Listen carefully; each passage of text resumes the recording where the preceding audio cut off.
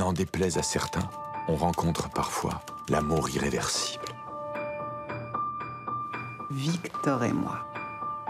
C'est toute une histoire.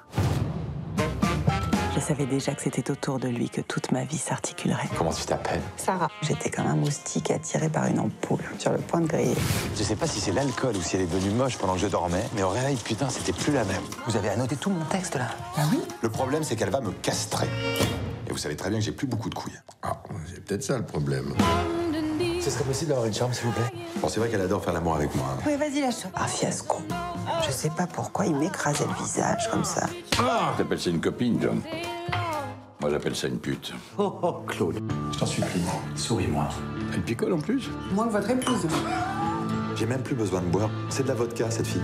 Victor Adelman, bonsoir. Bonsoir. Victor Adelman Oui. C'est qui Tu vois, quand j'ai commencé, on disait que j'avais la tête d'un acteur qui écrivait des livres. Bah, maintenant, j'ai vraiment la tête d'un type qui écrit des livres. Là, ça... Souris-moi. T'es la femme la plus dingue que j'ai jamais croisée. Alors pourquoi tu veux ressembler à Anémone Giscard d'Estaing J'ai choisi la seule femme qui ne peut pas être impressionnée par ce que je fais, parce que j'écris, parce que je. Pas trop vite, mon amour. Il est où? Il arrive là, madame. Non, mon mari Tout sauf l'ennui. Pourquoi tu pleures Parce que c'est bien. Si j'étais une femme, c'est exactement comme ça que je m'habillerais pour aller retrouver quelqu'un.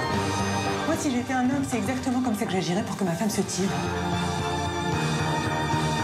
J'aime bien tout ce qu'elle dit, le regard qu'elle pose sur tout, les gens, les films.